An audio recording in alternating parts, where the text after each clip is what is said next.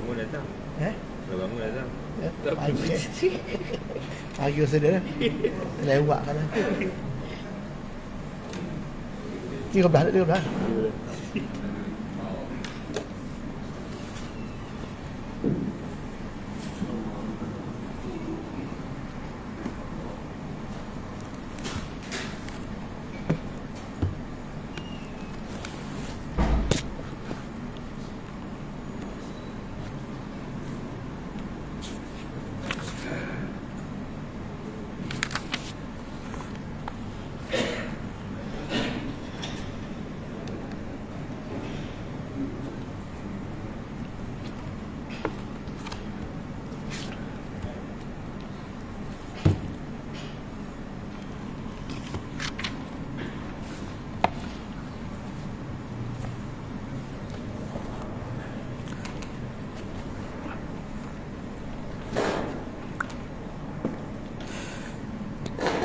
بسم الله الرحمن الرحيم السلام عليكم ورحمة الله وبركاته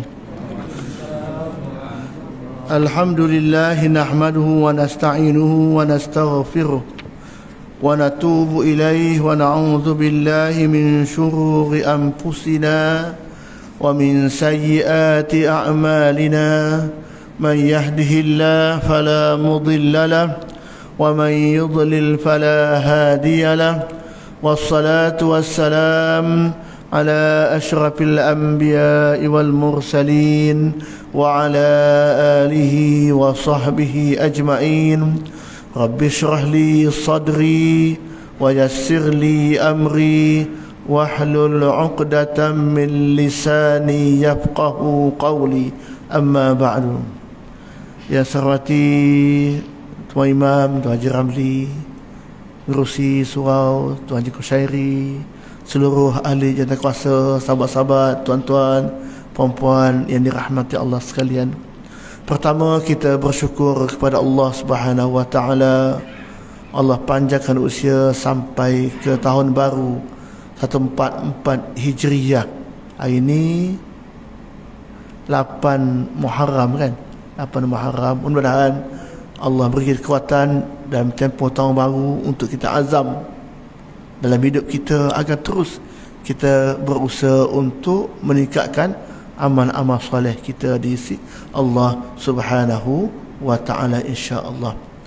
Hari ini kita bincang tajuk taqarrub atau mendekatkan diri kepada Allah Subhanahu wa taala tiga buah hadis yang cuba kita baca pagi ini insya-Allah. عن أبي هريرة رضي الله عنه قال قال النبي صلى الله عليه وسلم يقول الله تعالى أنا عند ظن عبدي بي وأنا معه إذا ذكرني فإن ذكرني في نفسي ذكرته في نفسي في نفسي. وإن ذكرني في ملأ ذكرته في ملأ خير منهم وإن تقرب إلي Bashir taqarrabtu ilayhi dhira'an wa in taqarraba ilayya dhira'an taqarrabtu ilayhi ba'an wa in atani yamshi ataituhu harulatan rawahu al-bukhari wa muslim wa tirmidhi wa ibn majah daripada Abu Hurairah radhiyallahu anhu Rasulullah sallallahu alaihi wasallam telah bersabda bahawa Allah berfirman Aku bersikap mengikut sangkaan hamba terhadapku. Aku bersama-sama mereka apabila mereka mengingati aku. Apabila mereka mengingati aku dalam jiwa mereka Aku mengingati mereka dalam jiwaku. Apabila mereka mengingati aku dalam jamaah mereka Aku mengingati mereka dalam jamaah yang lebih baik dari mereka Demi sekiranya mereka mendekatkan dirinya ke denganku sejengkal Aku mendekati sehasta. Sekiranya mereka mendekatkan dirinya denganku sehasta Aku akan mendekati sedepa. Dan sekiranya mereka mendekati aku dengan berjalan Aku akan mendatangi mereka dengan berlari anak Dengan segera. Hadis riwayat Al-Imam Al-Bukhari Muslim Tirmidhi Ibnu Majah Nabi Muhammad sallallahu alaihi wasallam dalam hadis kursi ini Allah berfirman bahawa sesungguhnya Allah itu bersikap sebagaimana sikap hamba terhadapnya. Jika seseorang hamba itu mengingati Allah dalam dirinya dan berzikir dalam hati dan menganggap Allah sentiasa mengingatinya sama ada dalam keadaan dia bersendirian tiada mengetahui maka Allah sentiasa mengingati hamba juanya. Artinya usaha kita ke arah mendekatkan diri dengan Allah Subhanahu wa taala akan membolehkan Allah lagi dekat kepada kepada kita. Jadi maknanya kita mesti berikhtiar berusaha untuk sentiasa dalam keadaan untuk merapatkan diri kita dengan Allah Subhanahu wa taala. Kalau kita jauh, lagi jauh. Kita lagi dekat, Allah lagi dekat dengan dengan kita. Jadi usaha itu bermula daripada diri kita ini. Jadi perubahan dalam konteks hijrah, perubahan yang sebenar ialah perubahan diri untuk meninggalkan benda yang Allah benci, benda yang Allah tak suka, benda yang Allah haramkan. Itu usaha dalam konteks hijrah yang paling hebat ialah boleh meninggalkan apa yang Allah benci. Jadi kita usaha untuk lebih dekat diri kita dengan Allah Subhanahu wa taala. Sebab itulah bila kita menyebut nama Allah, memuji Allah, menyanyi Allah, Allah lagi memuji dan memuja kita. Allah sebut dalam Quran dalam surah Al-Baqarah ayat 152, A'udzu billahi minasyaitonir rajim fadhkuruni adhkurkum washkuru li wa la takfurun ingatlah kamu kepada aku dengan mematuhi segala hukum dan undang-undang aku supaya aku membalas kamu dengan kebaikan. Ha, mana? Bila kita ingat pada Allah Allah balas kita benda yang berganda-ganda kebaikan. Sebab satu nilai kebaikan yang telah kita bincang dalam kuliah lalu Allah gandakan paling tidak 10 kali kebaikan. Hanya dengan satu kebaikan itu. Artinya Allah begitu sayang begitu kasih pada kita. Dengan syarat kita berusaha untuk kasih dan cinta kita kepada Allah Subhanahu wa taala. Bersyukurlah kamu kepada aku yang kamu kufur akan nikmat aku kepada kamu. Jadi itu sikap seorang hamba yang mesti sentiasa dalam keadaan taqarrub untuk mendekatkan diri kita dengan Allah Subhanahu wa taala. Bagi hamba Allah yang memujinya, sesa menyebut namanya, bersyukur, berdoa, bertaubat serta melahirkan keimanan di khalayak ramai, pasti Allah akan mengingati dan memujinya di khalayak yang lebih baik dan utama seseorang hamba yang mendampingkan diri kepada Allah Subhanahu wa taala dengan jarak sejengkal atau sehasta dan seterusnya iaitu dengan melakukan ibadah dan amal soleh untuk tujuan mendekatkan dirinya atau takarub pada Allah maka Allah lebih dekat kepada kita. Itu maknanya kita mesti usaha yang bersungguh-sungguh. Antara usahanya ialah Nabi sebutlah hadis ولا يزال عبدي يتقرب إلي بالنوافل حتى أحبه أو كما قال hambaku sentiasa mendampingi diriku taqarrub mendampingi mendekat diriku antaranya dengan melakukan an-nawafil ibadat-ibadat sunat hatta uhibbah sehingga aku menjadi kasih kepadanya yang fardu wajib. Itu tak boleh ting tinggal. Itu syarat hamba mesti buat yang fardu. Yang sunat tanda cinta tanda kasih tanda sayang tambah dengan amalan. Sunat itu tanda takarub kita ni sayang sangat pada Allah. Dalam bentuk kita nak berusaha menambahkan amalan-amalan yang yang sunat yang kita banyakkan kepada Allah Subhanahu wa taala. Apa dia amalan sunatnya? Antaranya ialah besok dan lusa. Ya. Besok lusa kan? Ha. Cerita pasal hadis ya.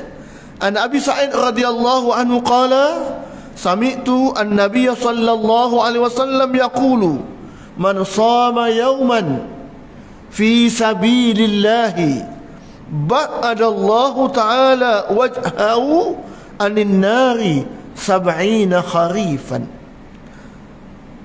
daripada Abu Sa'id Al-Khudri radhiyallahu anhu katanya aku mendengar Nabi sallallahu alaihi wasallam bersabda sesiapa yang berpuasa sehari puasa sunat ya semata-mata kerana Allah Allah akan menjauhkan dirinya daripada api neraka selama 70 tahun makna satu hari puasa sunat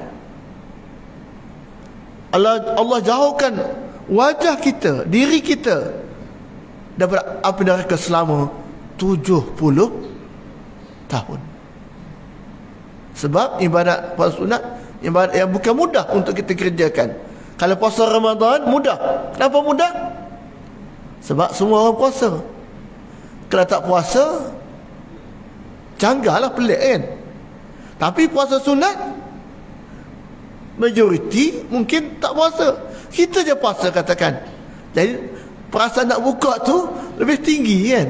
Jadi kalau boleh buat juga itu tanda kita ada kekuatan untuk taqarrub. Besok Tasu'a. Lusa Ashura. Besok 9 Muharram, lusa 10 Muharram. Apa fadilat puasa 10 Muharram? Ha, kita baca hadis eh. Kalau puasa hari Arafah Fadilatnya diampun dosa selama dua tahun. Tahun sebelum, tahun akan datang.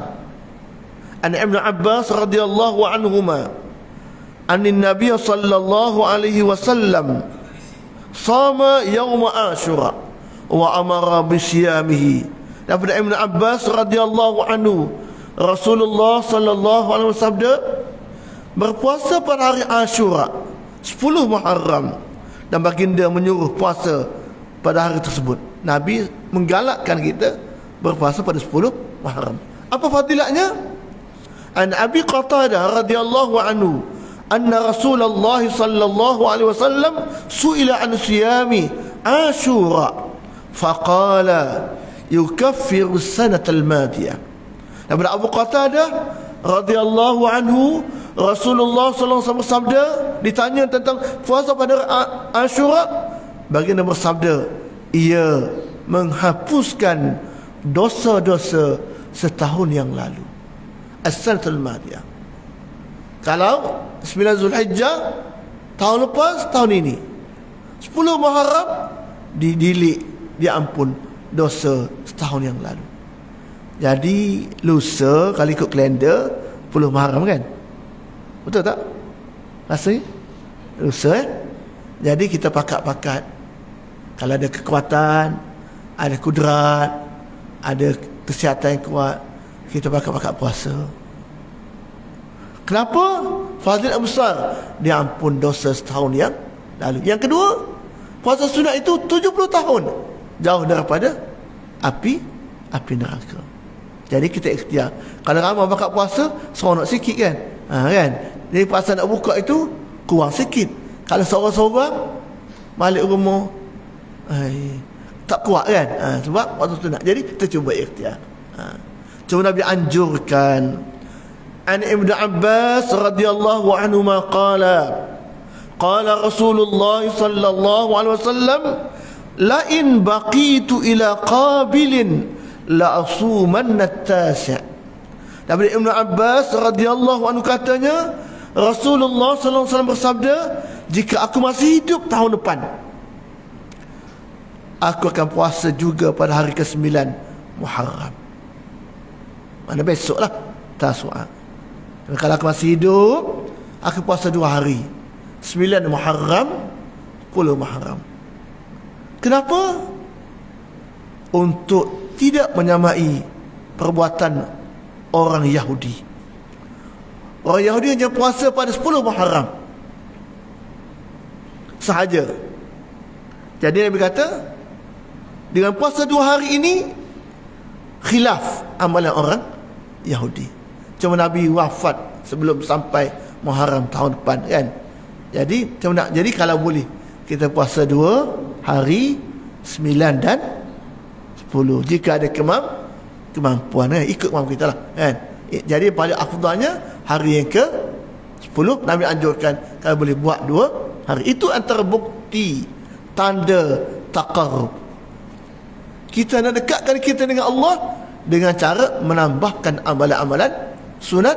Antara amalan sunat ialah amalan tadi berpuasa sunat khususnya di bulan Muharram Muharram ini. Jadi insya-Allah kita ikhtiar sesama kita insya-Allah kita pakat-pakat mudah-mudahan Allah beri kekuatan untuk untuk tersebut. Ha.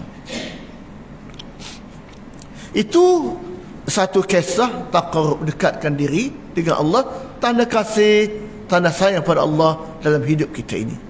Satu kisah. Ya, satu kisah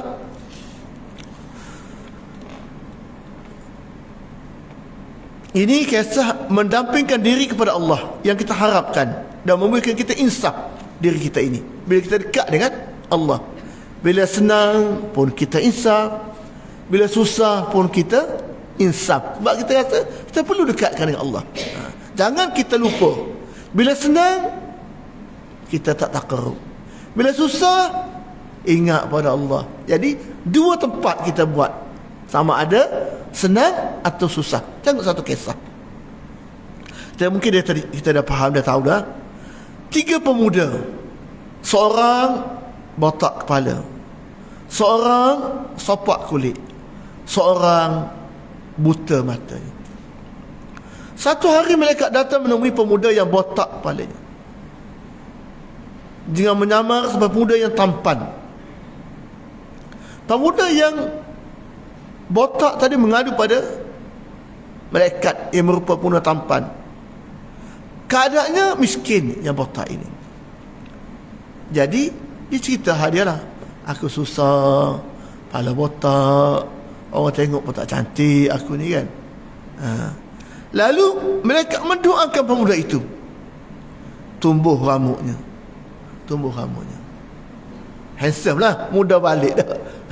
Ilah rambut ada balik Cantik Seronok kan Orang tak ada rambut Nak ada rambut Kan Orang uban Nak putih. Itu biasalah Tak nak nampak tua. Itu normal. Sebagai maknu Manusia kan? Kira ikhtiar macam-macam Supaya tumbuh rambut. Mereka ada tumbuh rambut dia.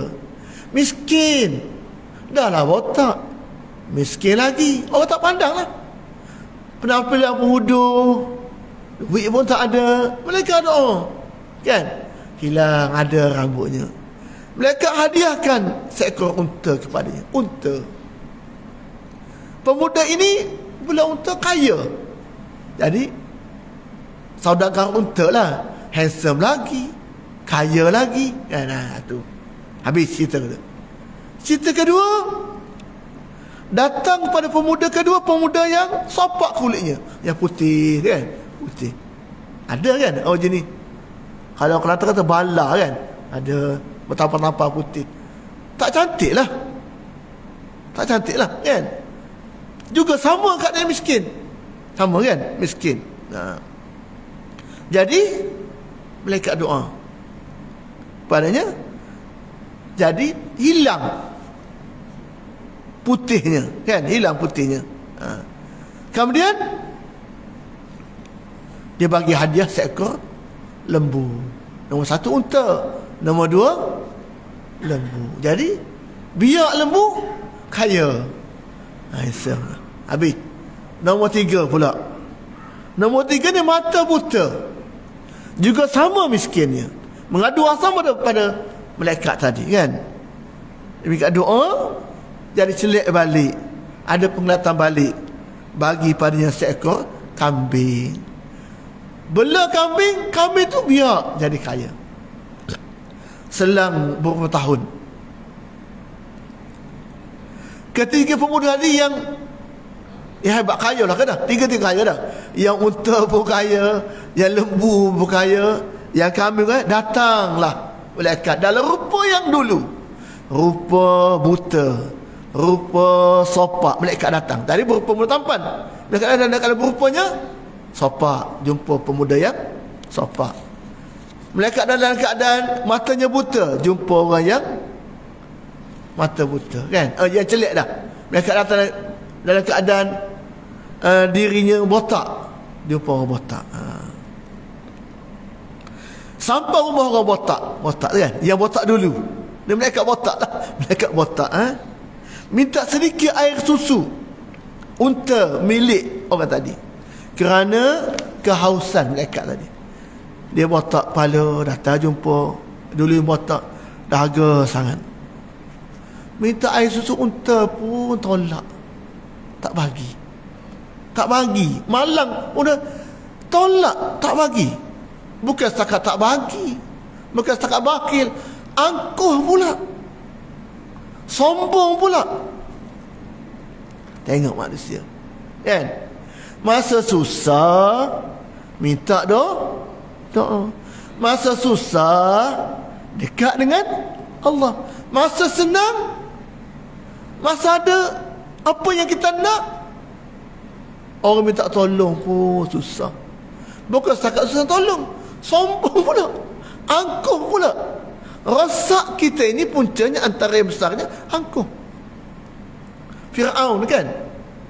Rosak dia kerana keangkuhan Namrud rosaknya antaranya sombongnya engkau mengaku jadi Tuhan kan begitulah pemuda ini akhirnya kembali balik asal jadi botak balik. Binatang peliharanya mati semua. Jatuh miskin. Allah uji manusia. Kamu dekat dengan Allah bila? Senang ke? Susah. Rupa pemuda ini diuji dengan senang? Jauh daripada Allah. Na'udzubillah. Kita ya na'udzubillah eh. Satu pemuda kedua sama mereka jumpa dalam keadaan sopak kulitnya. Sopak kulitnya miskin. Minta segelas air susu lembu milik pemuda itu. Sama jawapan pemuda yang ada unta tadi. Tak nak bagi air susunya. Bukan setakat tak nak bagi. Sombong lagi. Bakhil lagi. Dan mereka doakan akhirnya dengan izin Allah dia jatuh miskin dan mati semua binatang ternakannya lembunya. Ha, itu maksudnya kan dua pun kedua pun lupa daratan. Bila sedang lari jauh daripada Allah subhanahu wa ta'ala. Yang ketiga pemuda ketiga buta mata. Datang dalam matanya buta jumpa pemuda ketiga minta air susu kambing beserta makanan. Bukan setakat minta. Bagi air susu bagi makanan hidang lagi kepada pemuda ini. Mereka doakan agar pemuda ini yang pandai bersyukur ini Allah beri dia kemewahan lagi kekayaan lagi. Dengan sebab kaya dia masih ingat pada Allah. Dengan sebab kaya dia boleh bantu orang. Dengan sebab kaya dia boleh dekat dengan Allah. Jadi pemuda ketiga yang buta mata rupanya tahu bersyukur. Tahu ingat Allah waktu senang maupun waktu su susah. Jadi maknanya dalam hal ini kita mesti ingat Allah dalam semua keadaan. Sama ada senang atau susah. Yang susahnya waktu se senang. Sebab semuanya ada. Jadi ini peranan orang sekeliling kita. Kalau sekeliling kita pun pattern sama dengan kita yang sombong juga akhirnya kita lupa. Tapi kalau anak kita isteri kita orang dekat dengan kita driver kita mungkin selalu sebut mungkin kita agak boleh kan? Boleh kembali. Tapi kalau kita lupa kan? Tak belajar tak dengar kan? Akhirnya akan lari jauh-jauh.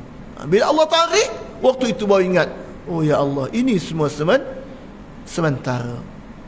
Allah nak uji kita Waktu senang. Nak uji kita waktu susah untuk kita ini sentiasa mendekatkan diri dengan Allah Subhanahu wa taala. Ha. Sebab itulah dalam ayat dalam surah Al-Baqarah ayat waktu Allah sebut A'udzu billahi minasyaitonir rajim. Fa idza qadaytum manasikakum fadhkurullaha kadhikrikum aba'akum aw ashadda dhikra. ذكرا faminan nas man yaqulu rabbana atina fid dunya wa ma lahu fil akhirati min khalaq kemudian apabila kamu telah selesai mengerjakan amalan ibadat haji kamu eh di masa haji kan maka adalah kamu menyebut-nyebut dan mengingati Allah dengan membesarkannya sebagaimana kamu dahulu menyebut-nyebut memuji datuk nenek kamu bahkan dengan sebutan lebih lagi dalam pada itu ada antara manusia yang berdoa dan berkata wahai Tuhan kami berikanlah kepada kami kebaikan di dunia. Orang ini berikan kebaikan dunia dan tidak ada baginya sedikit pun kebaikan di akhirat. Nak dua tempat kan? Kita nak buat baik kepada Allah dekat dengan Allah. Dunia pun Allah kebaikan akhirat pun Allah baik kebaikan kepada kita. Jadi kesimpulan di sini mesti sentiasa taqarrub mendekatkan diri dengan Allah Subhanahu wa taala. Jadi lagi dekat dengan Allah, Allah lagi dekat dengan dengan diri kita. Jadi dengan cara itu kita akan rasa rasa kebesaran dan kehebatan Allah Subhanahu wa taala. Itu satu. Yang kedua, tengok ada kedua eh. Ini juga ada kaitan dengan ada yang sama.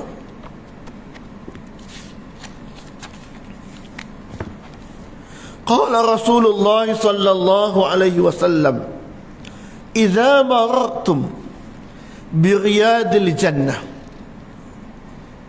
Bila seseorang dari kamu melalui kebun-kebun atau taman-taman syurga farta'u berhentilah masuklah ke dalamnya. Tadi nak dekat dengan Allah kan? Cara macam mana? Antaranya Nabi sebut bila lalu taman syurga berhenti. Atau masuk. Qila wa mariyadul jannah. Apa sahabat tanya? Apa maksud taman syurga itu? Qala kata nabi al masajid iaitu masjid rumah-rumah Allah. Qila wa mar wa ma'ratu dan apa pula maksud dengan berhenti masuk ke dalam masjid itu qala subhanallah walhamdulillah wala ilaha illallah wallahu akbar Rawat Tirmidhi ha. jadi dalam hidup kita ini Nabi mengajar kita kita boleh memilih. Untuk pilih jalan ke syurga atau jalan ke tempat lain. Nabi bagi pilihan kepada kita jalan ke syurga. Jalan mendekatkan dengan Allah antaranya mengunjungi rumah-rumah Allah. Yang kedua dalam rumah Allah banyak memuji menyebut kebesaran Allah. Antara tadi kalimah di zikir. Atau mendengar benda baik di rumah Allah. Bukan rumah Allah untuk tempat kita bergaduh bertekak dan sebagainya tapi tempat untuk kita sama-sama berusaha untuk mendekatkan diri dengan Allah Subhanahu wa taala. Sebab apa? Sebab rumah Allah rumah yang baik. Tempat yang suci tempat yang bersih tempat yang sepatutnya menjadi tempat untuk manusia menyucikan dirinya sesuai dengan kehendak Allah Subhanahu wa taala Lepas itu nak sampai rumah Allah ini bukannya mu mudah, bukannya senang kan? Ha, kalau boleh sampai itu alhamdulillah. Jadi niat pun kena ber, betul, hati pun kena ber, betul. Bila sampai sini pengisiannya pengisian yang mendekatkan diri dengan Allah Subhanahu wa taala. Jadi Nabi ajar bila sampai rumah taman syurga masuk dengar berhenti. Kadang kita tandah saja. Tak sampai ke dalam kan? Tanda cari mana wajib? Tapi tak sampai ke dalam sampai ke tanda je. Jangan setakat tu kan? Ha, kan? Na'udzubillah mana ya biar sampai ke dalam mesti ada faedah. Mesti ada ada kebaikannya. Jadi baru ada penghormatan kepada rumah Allah dengan cara dekatkan sebab tu masuk rumah Allah? Solat sunat tahiyatul masjid. Tanda hormat ini rumah Allah. Ini tempat kita membesarkan Allah subhanahu wa jadi kita rasa tenang jiwa kita. Rasa seronok jiwa kita. Kalau jiwa kita bersih ha, kan ikhlas. insyaAllah. Sabar rumah Allah? Seronok. Lama tak sampai hati sedih. Hati rasa gundah genah kenapa? Lama tak sampai. Ha, kan? Lama tak sampai ke rumah Allah. Ha. sebab itulah di rumah Allah cara dekatnya tadi. Tadi itu macam yang kedua. I'tikaf. Nawaitul i'tikaf fi masjid. Lillahi ta'ala. Buat dalam masjid ini kerana Allah taala. Dan banyakkan kita berzikir banyak kita mendekatkan diri dengan Allah dalam bentuk zikir lidah tadi. Subhanallah alhamdulillah wala ilaha illallah. Ataupun zikir dalam bentuk yang luas iaitu mendengar majlis ilmu belajar Quran, belajar ilmu. Yang semua ilmu ini membuat kita lebih khusyuk, lebih tawaduk, lebih dekat dengan Allah Subhanahu wa taala. Jadi itu pentingnya kita menyediakan diri kita untuk menjadi calon yang layak masuk ke syurga Allah antaranya suka mengunjungi rumah Allah suka majlis ilmu, suka benda rahmat, suka puji, suka buat baik dengan Allah Subhanahu. Jadi mana? Dalam hidup ini lidah kita dilatih untuk biasa memuji dan membesarkan Allah Subhanahu wa Cakap benda baik, zikir keluar di mulut kan. Ini benda yang yang mudah pada zahir, sukar pada pada amalan. Kan? Senang kan? Tapi nak sebut itu bukannya mu? Sudah kita sebut dalam Quran lalu.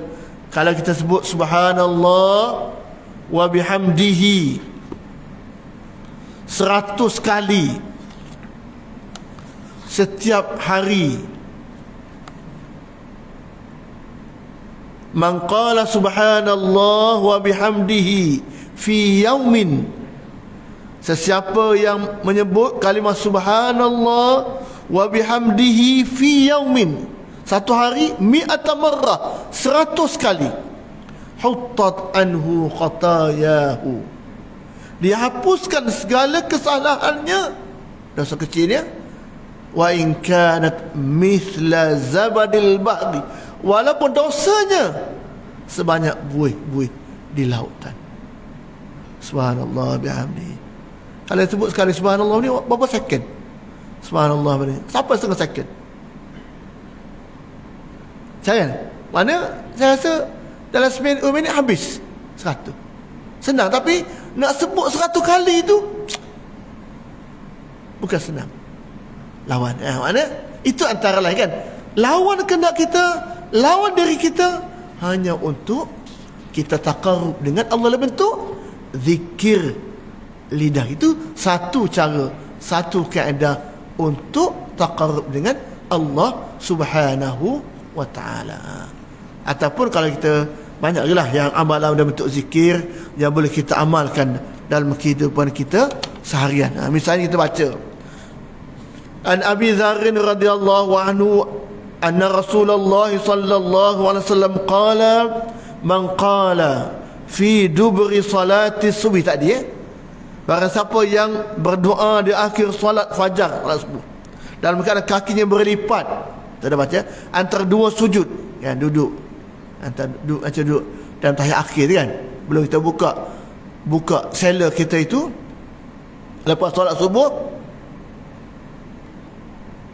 an yatakallama dan mengucapkan la ilaha illallah wahdahu la syarikalah lahul mulku wa lahul hamdu yuhyi wa yumit wa huwa ala kulli syai'in qadir.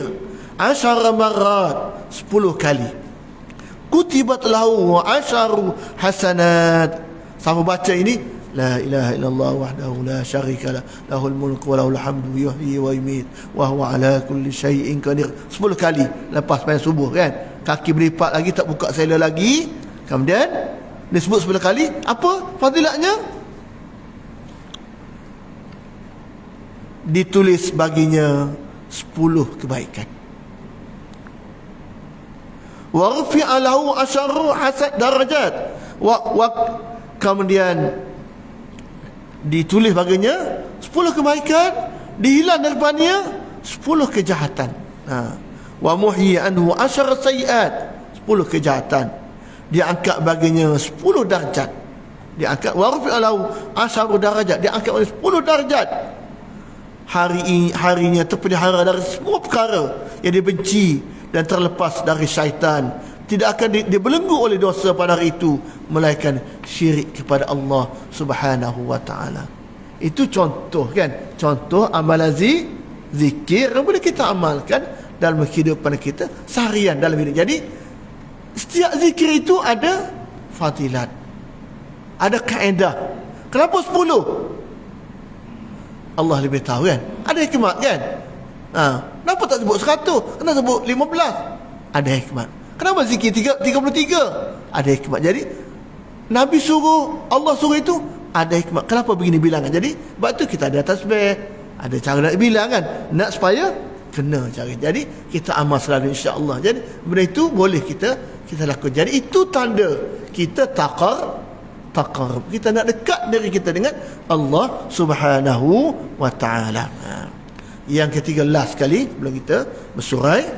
Qala Rasulullah sallallahu alaihi wasallam man ishtaqa ila al-jannah sara ila al-khairat wa man ashfaqa minan nar ilha al-shahwat ومن ترق ترقب الموت هانت عليه اللذات ومن زهد في الدنيا هانت عليه المصيبات رواه البيهقي Sabda Nabi sallallahu alaihi wasallam sesiapa sahaja yang rindu untuk ke syurga ishtaq mushtaq ana mushtaqu ilaik aku rindu padamu kan ishtaq siapa rindu nak masuk syurga sara'a ilal khairat. Cepat langkah kakinya ke jalan kebaikan tanpa bertangguh.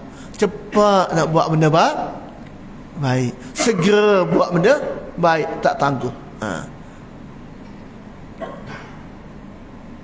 wa man asfaqa minan nar dan siapa juga yang merasa kasihan pada diri daripada azab neraka tentulah dia tidak ikut serta kehendak nafsunya dan siapa yang menunggu saat kematiannya tentulah ia rasa mudah meninggalkan perkara lazat-lazat dan sesiapa yang zahid di dunia mudah baginya menerima apa saja ujian berat daripada Allah Subhanahu wa taala. Hadis riwayat Al-Imam Al-Baihaqi. Jadi kita nak pilih jalan ke syurga.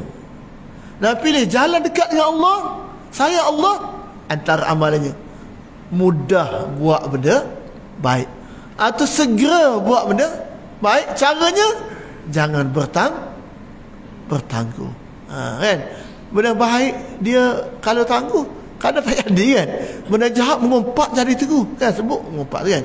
Yang benda baik itu bukan senang kan. Boleh buat segera. Insya-Allah kita ada kekuatan. Ha. Macam solat duha contohlah.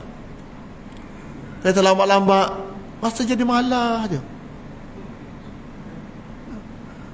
Bila kita buat cepat kan Masa waktu solat tu Masa lapar je. Luar je. Tapi bila tangguh Tak apalah Pukul sebelah lah Pukul dua belah Lah lah Zuhur. Esok pula. Esok pun macam tu juga. Lah lah Tak jadi. Benda baik tu kena Bila lapar tu memang dia jadi. Macam-macam ayat Baik pagi Kalau tak baca pagi ni? Betul.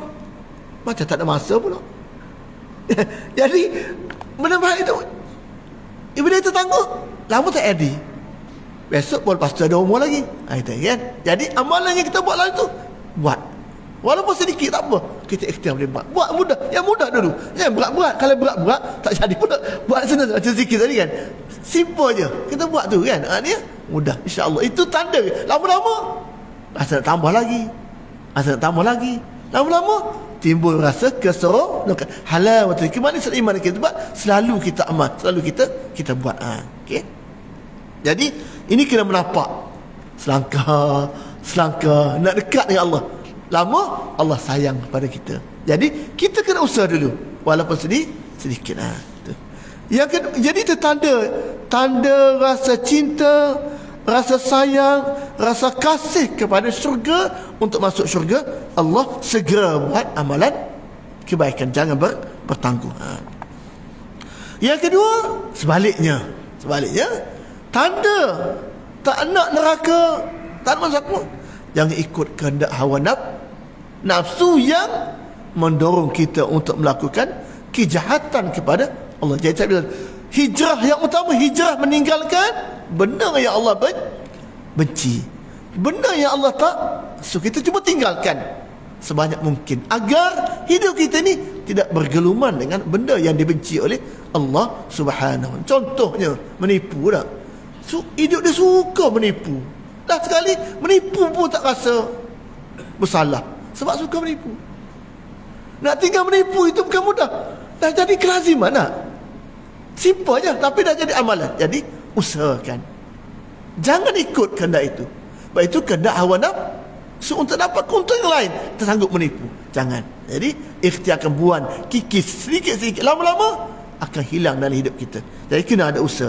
Yang ketiga ha, Orang menanti-nanti untuk jumpa Allah Dalam keadaan kematian ini.